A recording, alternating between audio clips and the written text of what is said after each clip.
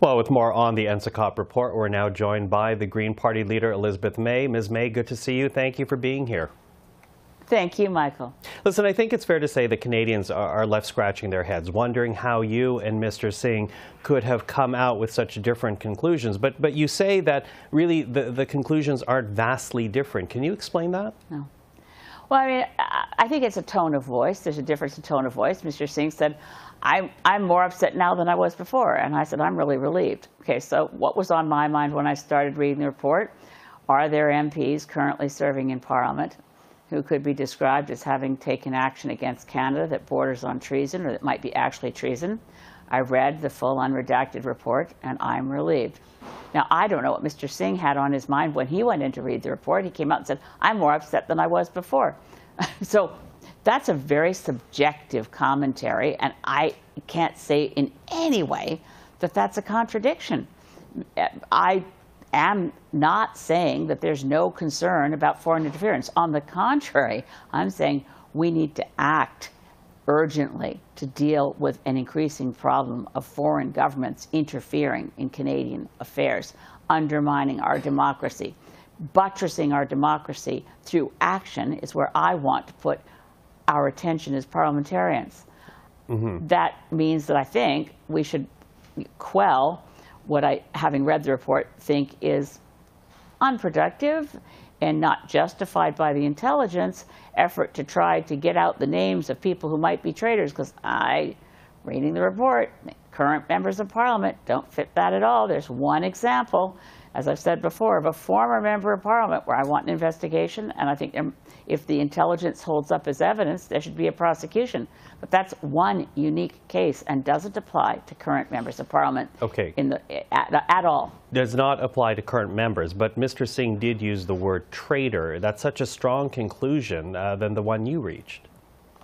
Well, they clarified from his office, and I think this is really important. I, I think the clarification from the NDP leader's office didn't receive as much media attention as perhaps a misinterpretation of what he was saying.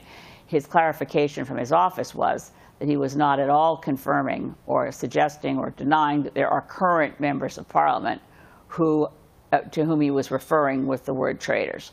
So uh, we agree that there was at least, uh, and I see evidence of only one former parliamentarian that I would consider did things that were the actions of a traitor.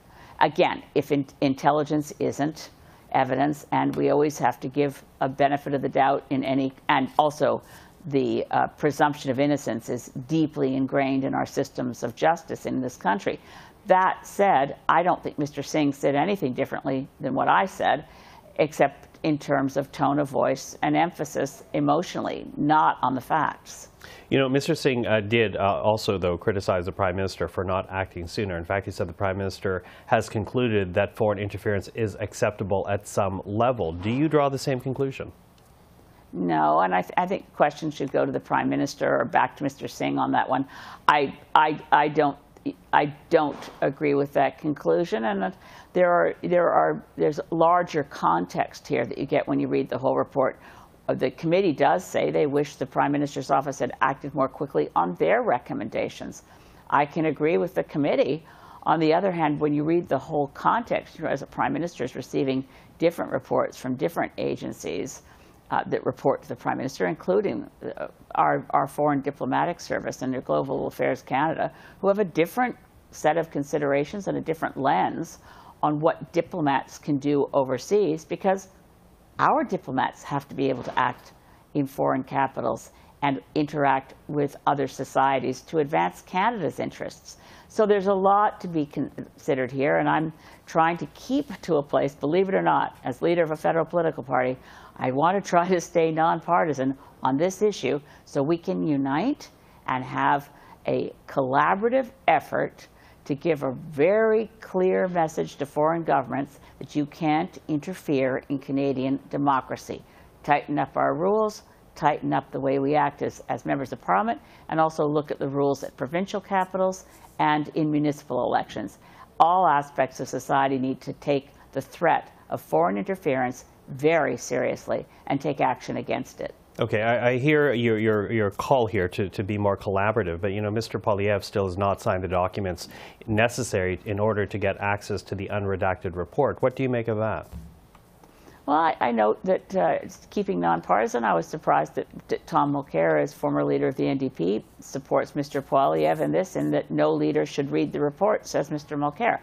I don't understand that, but I think I think all of us as elected people will do a better job with more information rather than less information. But I, I leave that to Mr. Poilievre to explain. I, I remain in hope that like, your, like Mr. Blanchet, who initially said he wouldn't seek top secret security clearance and then did, I hope Mr. Poilievre will change his mind and obtain it as well.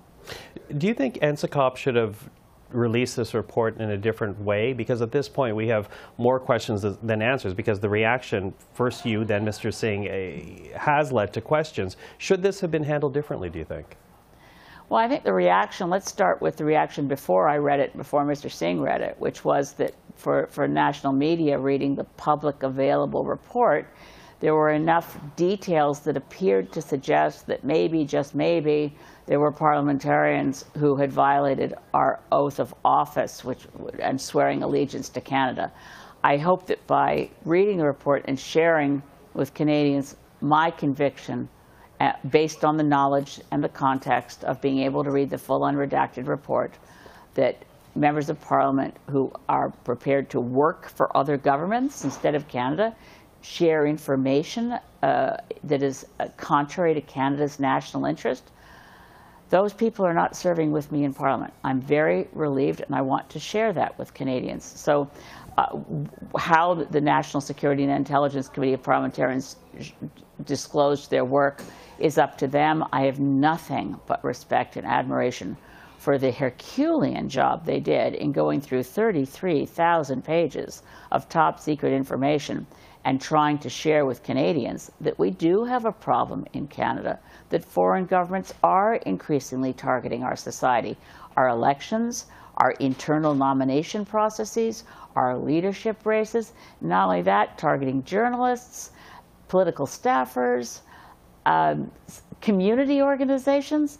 I, I, think all of Canadian society needs to realize the world has shifted uh, quite a bit to where we can realize that governments, whether um, the People's Republic of China or India, uh, are, are actually interested in our domestic affairs and interfere and want to interfere in them. And that's something we can all take and we all should take very seriously. And our job as parliamentarians is to act to protect our democracy.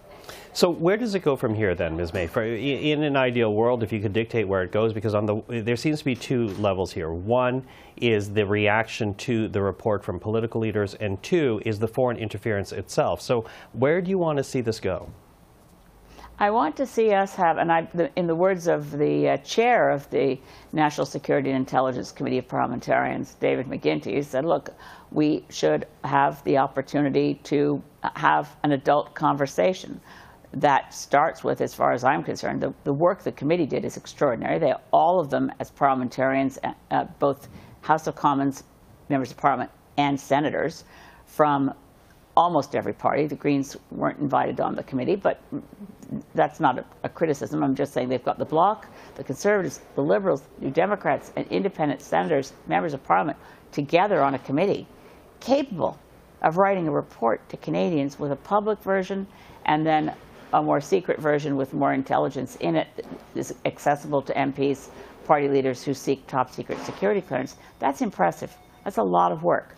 I want to work with that committee. I want to accept the, um, the notion, which I'm also putting forward, and I'll be codifying. I haven't put, written it down. I've said it in a couple press conferences. And I really ought to write a letter to all my colleagues who are leaders of the other federal political parties and say, please, get your top secret security clearance. Let's all have read the report because dueling press conferences aren't going to help sort this out. If we could sit down together in a secure location where we didn't risk divulging any of the material that we read that's top secret, I think we could come up with an action plan to protect Canada's democracy from foreign interference. The national, the committee has already made a number of recommendations. We need to, I think, work together and set partisanship aside, put Canada first, and give Canadians an assurance that we are acting to push back on foreign interference in Canada. Elizabeth May, I appreciate the time. Thank you for this. Thank you very much, Michael.